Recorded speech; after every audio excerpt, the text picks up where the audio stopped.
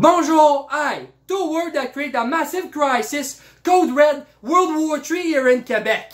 Basically, we have people here called the language asshole, and they want to remove I from the generic greeting Bonjour, hi.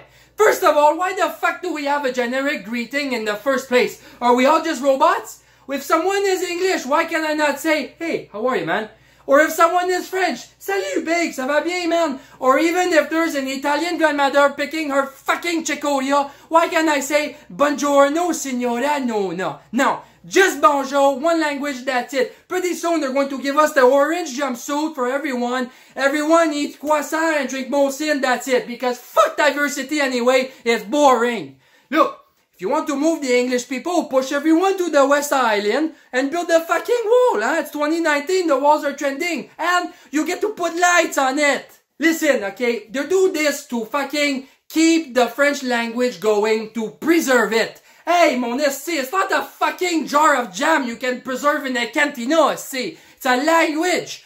How do you keep it going? You have more kid and you teach the fucking kid the language. That's it. You can't just preserve it. I hate to break the news, but 97-year-old Serge in Saint-Anne de Tabarnak, who was a coureur de bois in 18 fucking 67, is not a crocodile who's going to live for 100 years. He's going to die. So, more kid, language goes further, basically. But you don't want to have kids, so you come out with another resolute.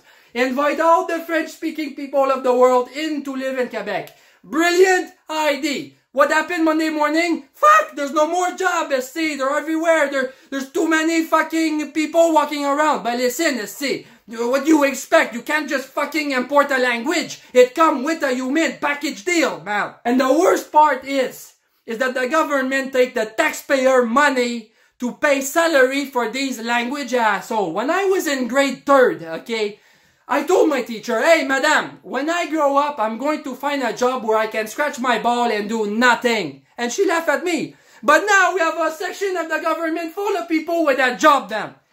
Personally, I think they want to remove it because they can't pronounce the H. It's just I, okay? But it don't matter, don't worry. Moi aussi, quand je parle français, j'ai un accent. That's it! But that's what makes us unique. We need to work together, one Quebec, to make a better Quebec and even better Canada. Man, see, I should be fucking Prime Minister. Calice.